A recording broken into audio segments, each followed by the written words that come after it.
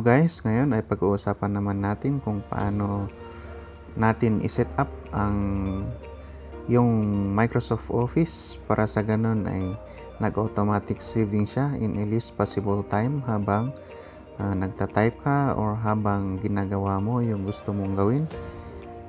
Sa, sa Microsoft Word man or sa Excel, sa Publisher or sa PowerPoint Okay, so wag na tayong paligoy-ligoy pa. Uh, gawin na natin. Okay, so ngayon, uh, punta tayo sa ang gagamitin ko na mag-sample dito ay yung Microsoft Word. Okay, Microsoft Word. Open lang ninyo yung yung Office.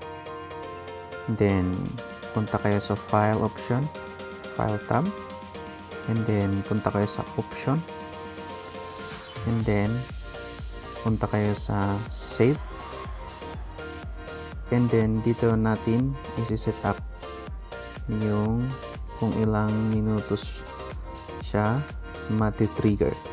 So halimbawa yung naka-default dito is 10 minutes. So ibig sabihin in every 10 minutes ay nag-automatic save siya. So, meron yung mga Microsoft Office na hindi ito naka-check. Ito.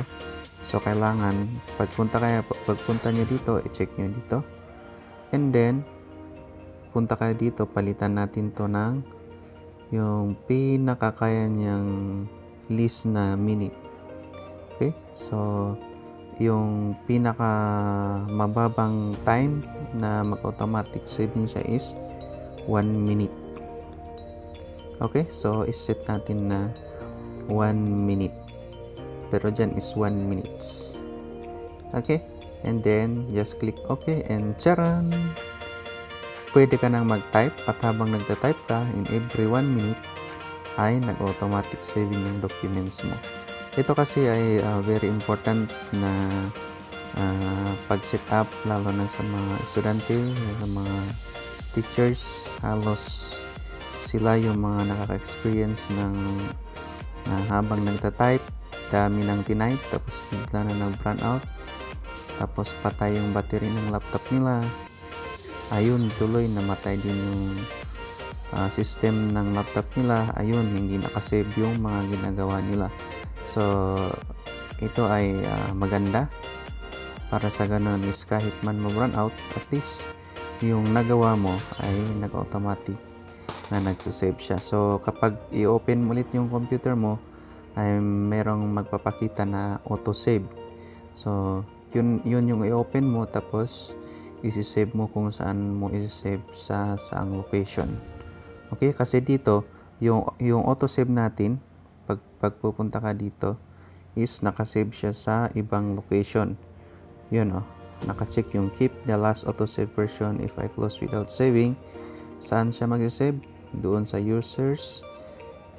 App data roaming Microsoft Word and then Word. Yun. Kapag i-browse mo yan yan dyan siya magsisave okay? So nasa drive C siya. Pero kung gusto mong i-save yung naka-auto save mo sa documents yun. Kapag lalabas yung auto save okay? So that's it. Uh, ito ay ginawa ko kasi halos marami yung mga uh, clients ko na uh, nagpapa-recover ng mga files nila na minsan is due to brownout dito sa aming kasi dito sa probinsya is laging nagre-Christmas ang aming kuryente. Okay so that is guys and hope uh, makatulong sa mga baguhan na gumagamit ng Microsoft Office. Uh, o pala, Decem December rin yung pag pag set up ng setting doon sa kahit uh, iba't ibang offices like Excel, Publisher, PowerPoint is parehas pa rin yung pag set up ng setting. Punta kayo lang sa file, option, save, then check, check ninyo then set up niyo kung ilang minuto siya magsisave okay so and then just click Okay, and tapos na. Okay, so that's it guys and hope nakatulong ako sa inyo and please subscribe to my simple YouTube channel. Thank you.